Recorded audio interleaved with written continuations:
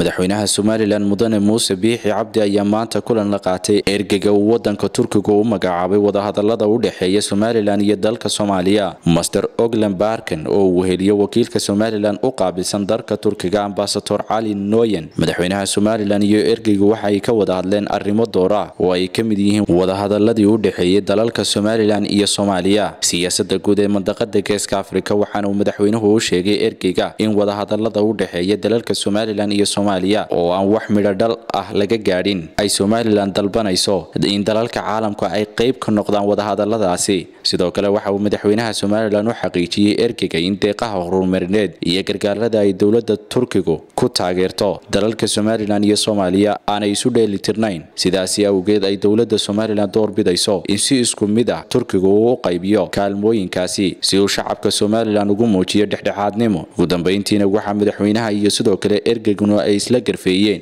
xoojinta xidhiidhka labada dal ee turkiga iyo somalilan iyo taariikhda soo jireenka ah ee ka dhexeeya labadaasi dal xiriir. Maxamed koosaar telefishinka caalamiga star t v magaalada hargeysa